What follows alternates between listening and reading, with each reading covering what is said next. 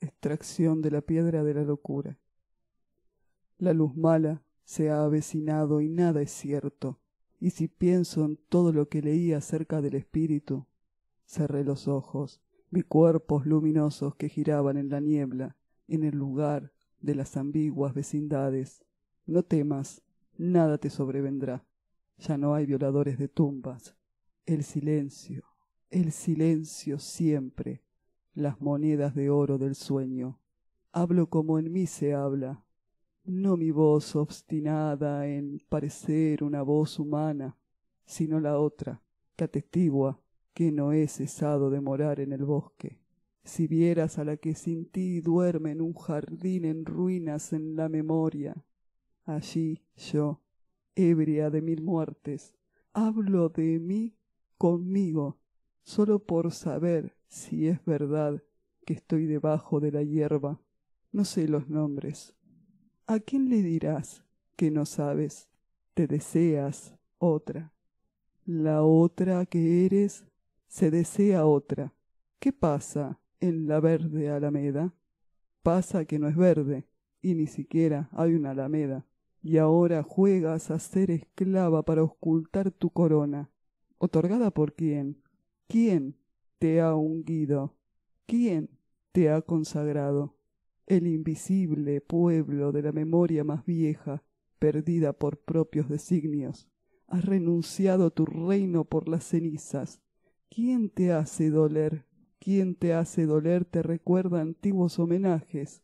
No obstante, llorarás funestamente y evocas tu locura, y hasta quisieras extraerla de ti como si fuese una piedra, a ella, tu solo privilegio.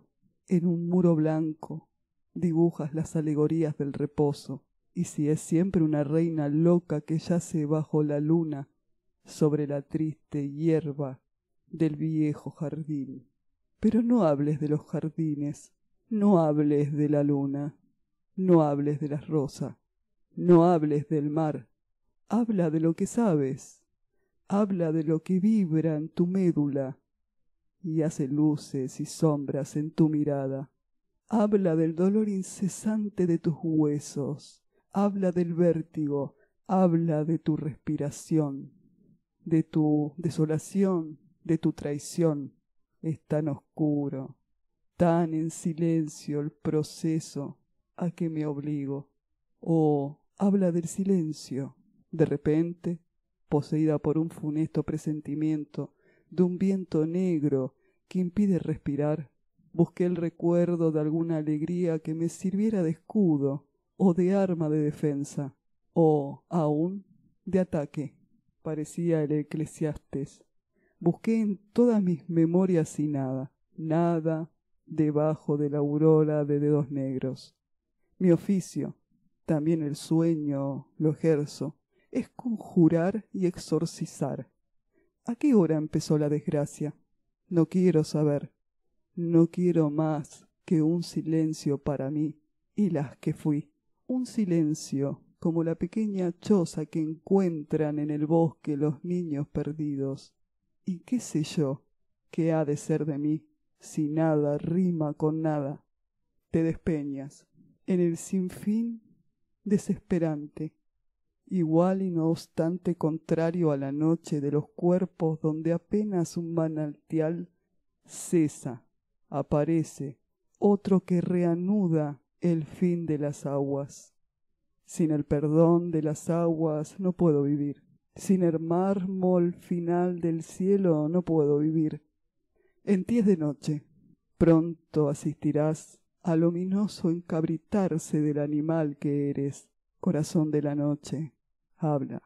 Haberse muerto, en quién se era y en quién se amaba, haberse y no haberse dado vuelta como un cielo tormentoso y celeste al mismo tiempo. Hubiese querido más que esto, y a la vez nada. Va y viene diciéndose solo, en solitario vaivén, un perderse gota a gota el sentido de los días, señuelos de conceptos, trampas de vocales.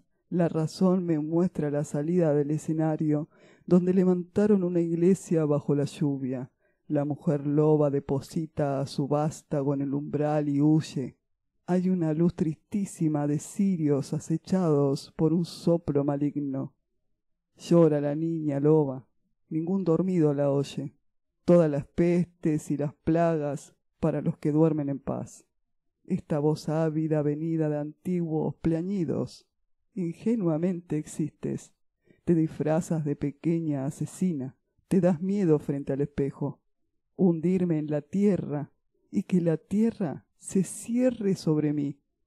Éxtasis innoble. Tú sabes que te han humillado hasta cuando te mostraban el sol.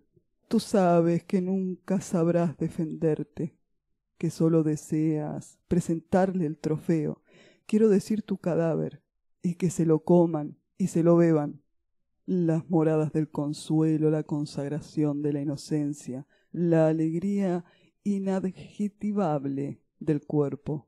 Si de pronto una pintura se anima y el niño florentino que miras ardientemente extiende una mano y te invita a permanecer a su lado en la terrible dicha de ser un objeto a mirar y admirar. No, dije, para ser dos hay que ser distintos. Yo estoy fuera del marco, pero el modo de ofenderse es el mismo. Brisnas, muñecos sin cabeza. Yo me llamo, yo me llamo toda la noche. Y en mi sueño, un carromato de circo lleno de corsarios muertos en sus ataúdes. Un momento antes, con bellísimos atavios y parches negros en el ojo, los capitanes saltaban de un bergatín a otro como olas, hermosos como soles, de manera que soñé capitanes y ataúdes de colores deliciosos y ahora que tengo miedo a causa de todas las cosas que guardo, no un cofre de piratas, no un tesoro bien enterrado, sino cuantas cosas en movimiento cuántas pequeñas figuras azules y doradas gesticulan y danzan, pero decir no dicen. Y luego está el espacio negro. Déjate caer, déjate caer, umbral de la más alta inocencia, o tal vez tan solo de la locura. Comprendo mi miedo y una rebelión de pequeñas figuras azules y doradas, alma partida, alma compartida, He vagado y errado tanto para fundar uniones con el niño pintado, en tanto que objeto a contemplar. Y no obstante, luego de analizar los colores y las formas, me encontré haciendo el amor con un muchacho viviente que al mismo momento que el del cuadro se desnudaba y me poseía detrás de mis párpados cerrados. Sonríe y yo soy una minúscula marioneta rosa con un paraguas celeste. Yo entro por su sonrisa, yo hago mi casita en su lengua, yo habito en la palma de su mano. Cierra sus dedos, un polvo dorado, un poco de sangre. Adiós, oh, adiós. Como una voz no lejos de la noche arde el fuego más exacto sin piel ni huesos andan los animales por el bosque hecho cenizas. Una vez el canto de un solo pájaro te había aproximado el calor más agudo. Mares y diademas, mares y serpientes. Por favor, mira como la pequeña calavera de perro suspendida del cielo raso pintado de azul se balancea con hojas secas que tiemblan en torno a ella grietas y agujeros en mi persona escapada de un incendio. Escribir en busca, en el tumulto de los quemados, el hueso del brazo que corresponda al hueso de la pierna. Miserable mixtura. Yo restauro, yo reconstruyo, yo ando así de rodeada de muerte, y así sin gracia, sin aureola, sin tregua. Y esa voz esa alegia a una causa primera, un grito, un soplo, un respirar entre dioses. Yo relato mi víspera. ¿Y qué puedes tú Sales de tu guarida y no entiendes. Vuelves a ella y no importa entender o no. Vuelves a salir y no entiendes. No hay por dónde respirar y tú hablas del soplo de los dioses. No me hables del sol porque me moriría. Llévame como a una princesita ciega, como cuando lenta y cuidadosamente se hace el otoño en un jardín. Vendrás a mí con tu voz apenas coloreada por un acento que me verá evocar una puerta abierta con la sombra de un pájaro de bello nombre, con lo que esa sombra deja en la memoria, con lo que permanece cuando avientas las cenizas de una joven muerta, con los trazos que duran en la hoja después de haber borrado un dibujo que representaba una casa, un árbol, el sol y un animal. Si no vino es porque no vino. Es como hacer el otoño. Nada esperabas de su venida, todo lo esperabas. Vida de tu sombra. ¿Qué quieres? Un transcurrir de fiesta delirante, un lenguaje sin límite, un naufragio en tus propias aguas. Oh, avara. Cada hora, cada día, yo quisiera no tener que hablar. Figuras de cera, los otros y sobre todo yo, que soy más otra que ellos. Nada pretendo en este poema, sino es desanudar mi garganta. Rápido, tu voz más oculta, se transmuta, te transmite, tanto que hacer y yo me desahogo. Te excomulgan de ti, sufro, luego no sé. En el sueño el rey moría de amor por mí. Aquí, pequeña mendiga, te inmunizan. Y aún tienes cara de niña varios años más y no le caerás en gracia ni a los perros.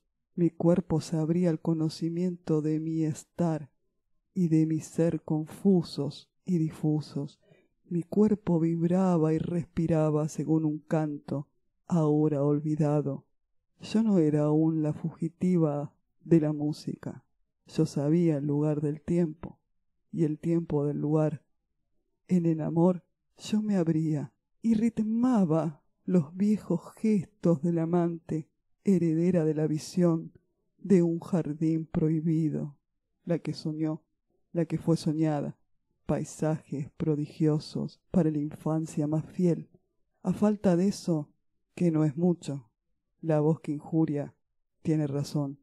La tenebrosa luminosidad de los sueños ahogados, agua dolorosa. El sueño demasiado tarde, los caballos blancos demasiado tarde, el haber ido con una melodía demasiado tarde, la melodía pulsaba mi corazón y yo lloré la pérdida de mi único bien. Alguien me vio llorando en el sueño y yo expliqué, dentro de lo posible, palabras buenas y seguras dentro de lo posible. Me adueñé de mi persona, la arranqué del hermoso delirio, la anomadé a fin de serenar el terror que alguien tenía a que me muriera en su casa. Y yo, ¿y cuántos he salvado yo? el haberme prosternado ante el sufrimiento de los demás, el haberme acallado en horror de los demás, retrocedía mi roja violencia elemental, el sexo a flor de corazón, la vía éxtasis entre las piernas, mi violencia de vientos rojos y de vientos negros, las verdaderas fiestas tienen lugar en el cuerpo y en los sueños, puertas del corazón, pero apaleado. Veo como un templo. Tiemblo. ¿Qué pasa? No pasa. Yo presentía una escritura total. El animal palpitaba en mis brazos con rumores de órganos vivos, calor, corazón, respiración, todo musical y silencioso al mismo tiempo. ¿Qué significa traducirse en palabras? ¿Y los proyectos de la perfección a largo plazo? medir cada día la probable elevación de mi espíritu, la desesperación de mis faltas gramaticales. Mi sueño es un sueño sin alternativa y quiero morir al pie de la letra, del lugar común que asegura que morir es soñar. La luz, el vino prohibido, los vértigos. ¿Para quién escribes? Ruinas de un templo olvidado, si celebrar fuera posible. Visión enlutada, desgarrada de un jardín con estatuas rotas. Al filo de la madrugada los huesos te dolían. Tú te desgarras. Te los prevengo y te lo previene. Tú te desarmas. Te lo digo, te lo dije. Tú te desnudas, te desposees, te desunes. Te lo predije. De pronto se deshizo. Ningún nacimiento. Te llevas, te sobrellevas. Solamente tú sabes ese ritmo quebrantado. Ahora tus despojos, recógelos uno a uno. Gran hastío en dónde dejarlos. De habérmela tenido cerca, hubiese vendido mi alma a cambio de invisibilizarme, ebria de mí, de la música, de los poemas, porque no dije de agujeros de ausencia, en un himno harapiento rodaba el llanto por mi cara. ¿Y por qué no dicen algo? ¿Y para qué este gran silencio?